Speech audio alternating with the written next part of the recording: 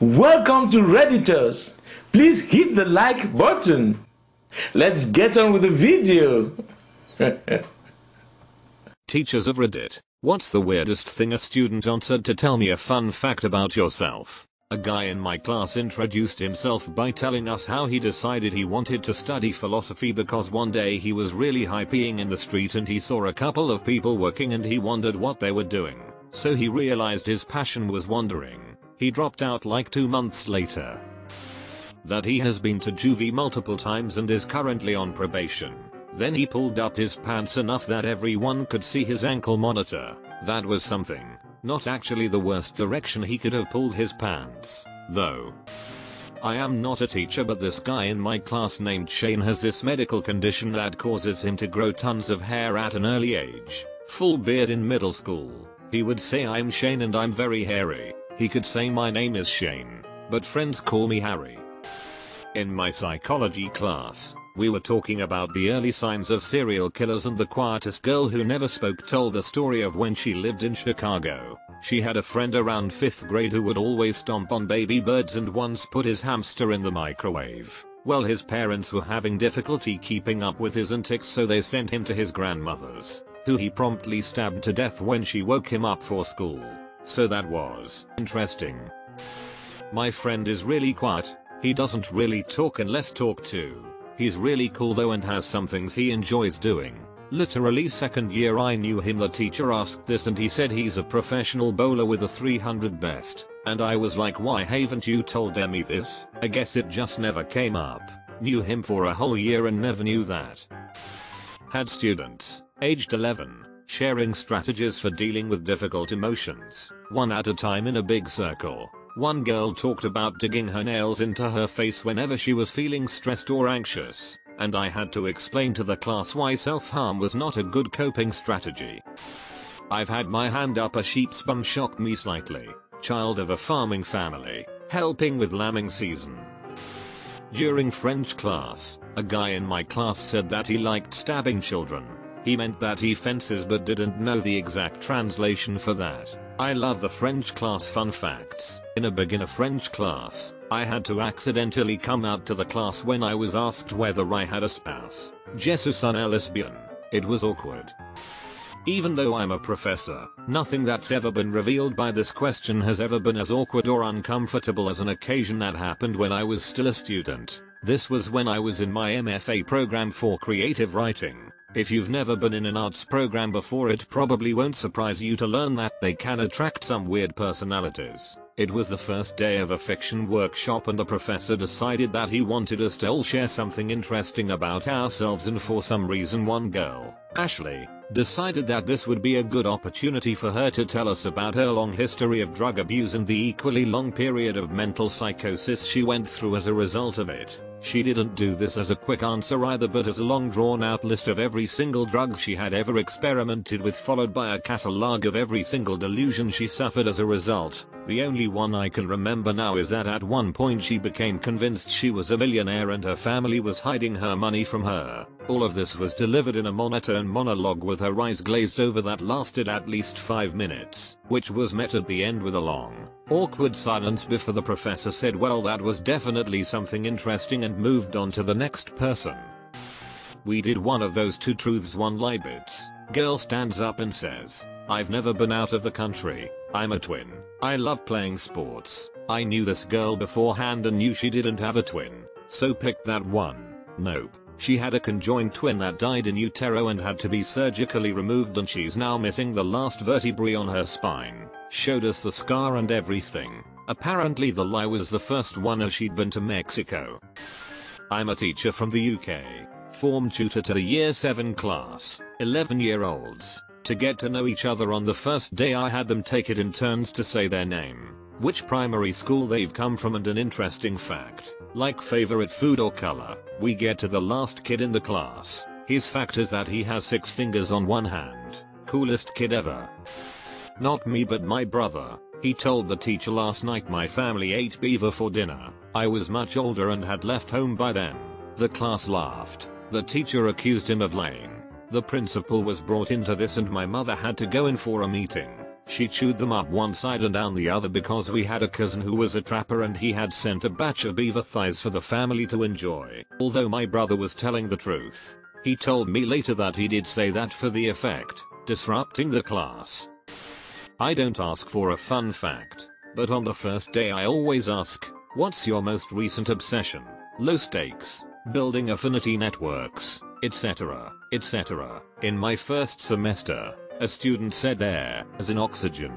That's a good answer. A lot of people couldn't live without it. Not a teacher. But on the first day of 9th grade we had to form a circle and say one thing about ourselves that we thought was unique. When it was this dude's turn. Let's call him Mike. Mike stands up and says in a really serious tone goes my mom and dad grow weed. His house got raided the next day and his dad got arrested SMH. Who snitched? Probably the teacher who is a mandatory reporter. Not a teacher, but I was a helper in a middle school classroom. A young girl, who seemed uninterested, said, with no hesitation, that she can chug an entire bottle of beer. She got expelled later that year for keeping drugs in her locker. In the context of having students introduce themselves one by one to a new boy in a small high school class, a girl said her parents got her a nose job and a boob job. Okay so I had psychology back in the spring semester of college, and I sat next to a girl who I was good friends with from high school. Professor asks her for a fun fact and she said I like to watch people get cut open. She obviously said it for effect, but she cleared it up by saying she liked watching videos of people getting plastic surgery because it's satisfying to watch. The explanation is just as bad. You will think less of me if you google me. I remember one kid used it as an opportunity to explain that he believed in the flying spaghetti monster. Not a teacher, but in third grade, we would do this weekly how was your weekend sort of thing where we'd sit in a circle and share. This one girl casually goes I found out that my biological father didn't want me in a super nonchalant tone and everything. I still remember the awkward tension. I sometimes have kids that share some pretty devastating sh. You really got to think on your toes about how to respond so as to not alert the other kids to the severity of the comment while still meeting the emotional need of the kid that is obviously going through that thing. First day of intro to lit during my freshman year of college. When asked an interesting fact about myself, I said I refused to bungee jump. Slightly confused, my professor took the bait. My professor replied that's sort of random. Why do you refuse to bungee jump? Is it a certain fear? To which my reply was to be honest with ya sir, a broken rubber brought me into this world, so I'm going to make damn sure one doesn't take me out of it. Luckily, the professor was a chill guy. The entire class exploded with laughter and it was a good time. My dad clogged the toilet this morning and that's why I'm feeling frustrated 5 year old child. I will say the question was how are you doing this morning, but I could barely keep from laughing out loud. Follow up question. Teachers that put everyone on the spot like that, VF? Not a teacher, but on the first day of school in 8th grade this kid in one of my classes casually answered, I have a restraining order on my dad. Not a teacher, but first day of high school when we did introductions one of the popular girls said hi I'm Maisie, and I'm trash. Wait no, I'm fan trash. And then proceeded to explain that she read smutty fanfics to every and any of the teacher that asked what fan trash is. We were 11. British high school. I was an ESL teacher in Indonesia and a student once told me every morning she cleaned the sh on her bed. I asked her to clarify. Worried she had a serious digestive issue. She answered, I brush my teeth, wash face and clean bed sh bed sheet. He has a TV in his bedroom. He was 17. Hello, my name's John and I have two pairs of shoes. I know a lot about medieval torture equipment. I'm a student but a kid in my class said that he loves chicken nuggets then sat down and didn't say anything to anyone else for a month. I have so much admiration yet confusion for him.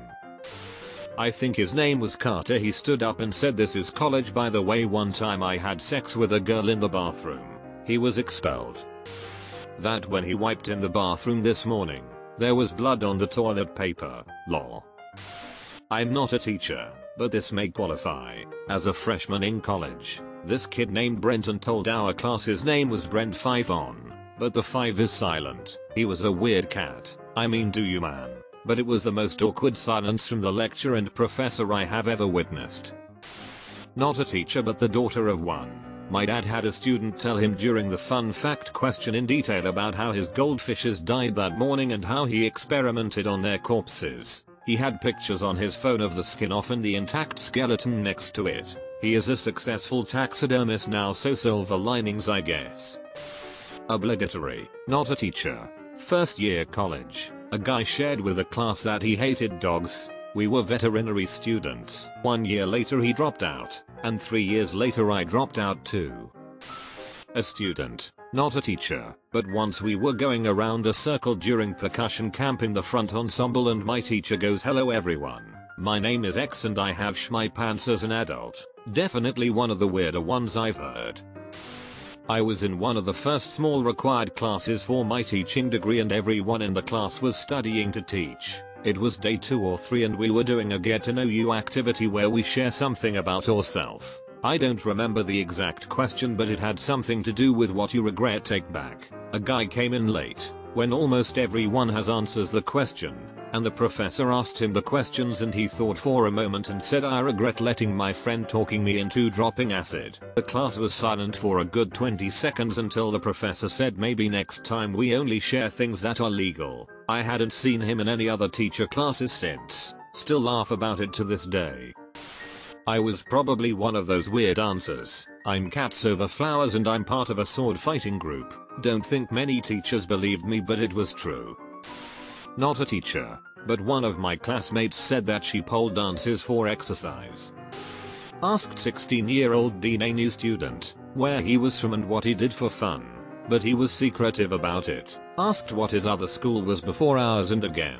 He wouldn't tell me. Finally pressed him and he said he was in witness protection program and had watched a murder. In cold blood and the gov moved him and family to our little town. Gulp. Fun fact indeed. My son told his 7th grade teacher that he had a Sasquatch uncle.